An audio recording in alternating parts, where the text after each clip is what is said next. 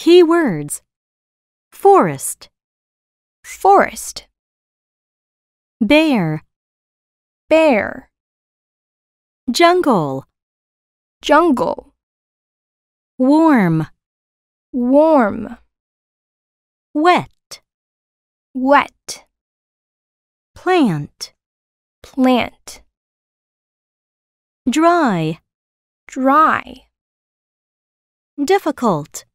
Difficult.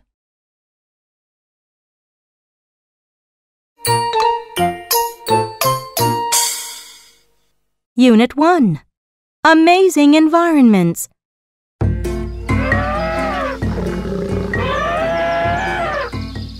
The world has many environments. There are forests with tall trees, birds, and bears. There are towns and cities with people all around you. There are also mountains, rivers, and the big blue sea. Jungles have tall trees, just like forests, but they're also very warm and wet. Jungle plants quickly grow very big, and elephants, tigers, and huge spiders all live there. Deserts are usually hot, and they're very dry. It's difficult for plants to grow in them, but some animals love living there.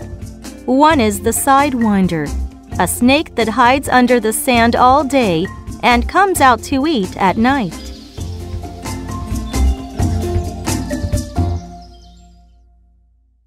Now it's your turn.